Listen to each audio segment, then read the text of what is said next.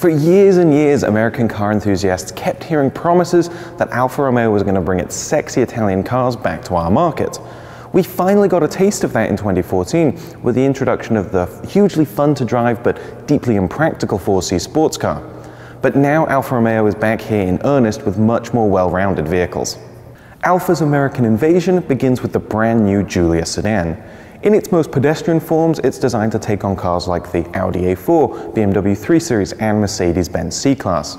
And then this version, the hot Quadrifoglio, is here to compete with nameplates like M3 and C63. That's a tall order. Does the brand new Italian car have what it takes to compete with those segment heavyweights? How does it look?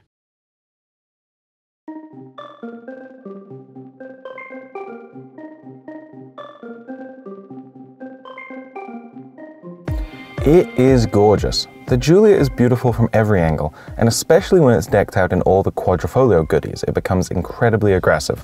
I love the low nose, sultry haunches, carbon fiber add-ons, and flowing curves all over the body. It has a great stance and looks so much prettier than anything else in its class. How's the storage? Alfa still doesn't have an exact cargo space figure for us, but just subjectively, I can tell you that this is probably on the small side for this class of cars. The opening isn't enormous and inside it's a little bit narrow, in part because you've got things like the battery back here in the trunk. But perhaps the biggest obstacle to fitting a lot of stuff inside your Giulia is going to be that the back seats don't fold down like they do in most of its competitors. Now in the base Giulia you can fold the back seats, but in the Quadrifoglio that mechanism was eliminated to save a little bit of weight. So with that in mind, let's see how well our new suitcases from away fit back here.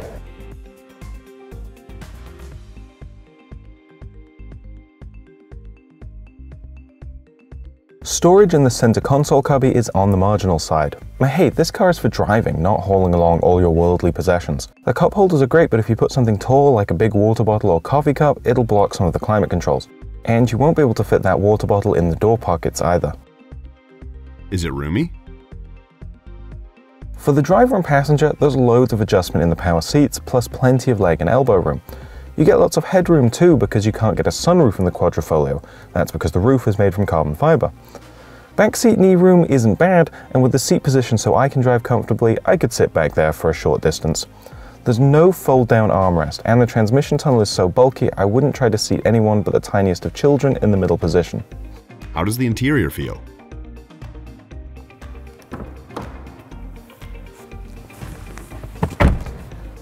Everything that you look at and touch in here is really nice. Now, depending on your viewpoint, you might say that the interior is a little bit plain, or you might just say that it's purist and focused. Personally, I really like it, especially the details like the red stitching and the carbon fiber trim. But there's some other things that maybe don't work quite as well as in some of this car's competitors. I love these big, real aluminum paddle shifters, for instance. They look great and feel great, but they're so big that you kind of have to stretch your fingers to get around to these stalks. Now that's not a problem for me, but I can imagine that if you have short fingers, you might be annoyed by that. I'm also annoyed by the climate control knobs. The first time you turn them, they don't actually change the temperature. You have to turn them a second time once you've gotten the attention of the system. And there's other little details like the fact that some but not all of these buttons on this steering wheel light up at night.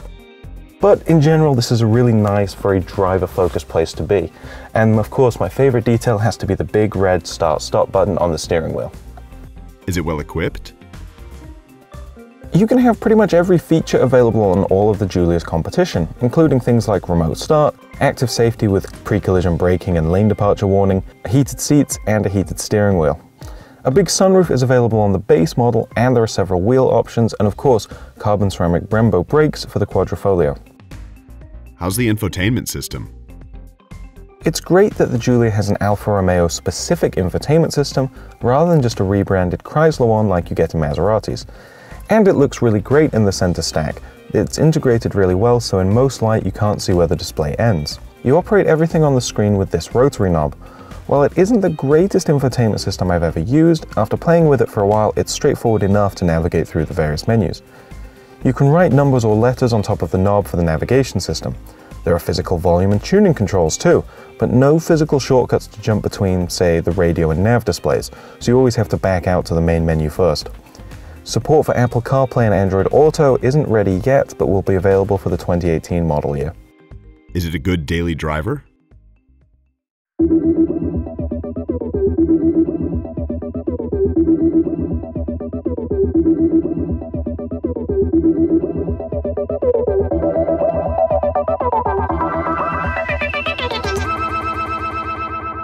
Because we're in the Quadrifoglio version, the sportiest version of the Giulia, obviously it's a little stiffer and louder and a little more aggressive than the base models. But overall, I'm very impressed with how civilized this car can be. When you put this drive mode selector into N for natural or A for advanced efficiency, the exhaust shuts up, the adaptive dampers soften, and there's nothing that really would prevent me from wanting to use this as my daily driver. The only thing I'd really criticize in terms of daily driving is the brake feel at low speeds, because there isn't any. This car has a brake-by-wire system similar to what you have in the Acura NSX and some electrics and hybrids, and because of that, you don't get great feedback for how much braking force you're using through the pedal, and so when you're in stop-and-go traffic or parking, it's a little difficult to modulate exactly how much braking you need. It takes me some getting used to before I can stop smoothly every time. Is it fun to drive? Wow. That's more fun to drive than I expected. It's a ton of... Uh, let's start with the engine. 505 horsepower from a 2.9 litre bi-turbocharged V6 and 443 pound-feet of torque. Now, sometimes it takes a little while for the turbos to wake up at low speed, but this is a great engine that loves to rev, really responsive. I have an 8-speed automatic transmission, it's the only transmission offered in the US, but it's really quick and responsive to these paddle shifters when I want a downshift or upshift. So although I'd like a manual transmission, it's not a deal breaker. The other great thing is the steering. It's incredibly quick the second that you want to go into a bend. And it does that without being twitchy on center, so this car doesn't feel nervous at speed when you're in a straight line. There's great chassis composure from this car, especially when you go up into dynamic or race mode with the dampers in their stiffest setting. It's very, very poised, there's not too much roll or dive when you go into corners. It also sounds really phenomenal. I love the way this car sounds, all the crackles on the shifts. But it really only sounds best in dynamic or race modes. In the other modes, it's very quiet. And that sort of gets to one of my frustrations with the Giulia Quadrifoglio. Some of this car's competitors let you kind of mix and match a little bit more. You could have the loud exhaust in the most comfortable, laid-back driving mode. But in the Giulia, you kind of have to go all in or nothing. If you want race mode, you have to fully commit to it. And I would kind of like it if I could customize that a bit more. How's the fuel economy? With cylinder deactivation and engine stop-start, the Giulia Quadrifoglio returns 17 miles per gallon city, 24 mpg highway, and 20 combined. That's right on the money for similar sports sedans with this much power. The standard Giulia, by the way, with its 280 horsepower engine, returns as much as 33 mpg. How much is it? The regular Giulia starts at just $39,000. The Quadrifoglio version runs from about $73,000 to $87,000, pretty similar to what you'd spend on its competition. This particular car is $83,000. Major options on it include the carbon ceramic brakes, which are $5,500, and the active safety system, which is $1,250. What are the negatives? There's really not a lot that I dislike on this car.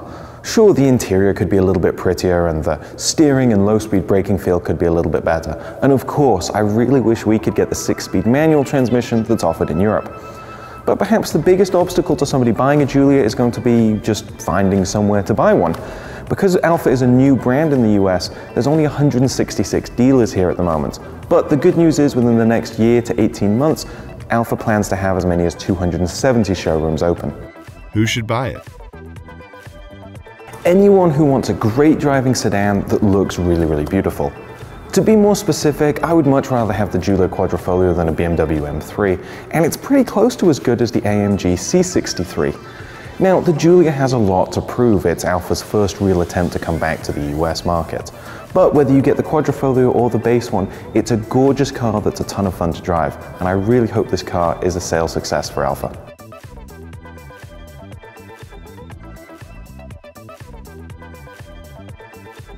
Hey guys, if you liked this Why Buy video as much as I like this Alfa Romeo, be sure to scroll down and click the like button.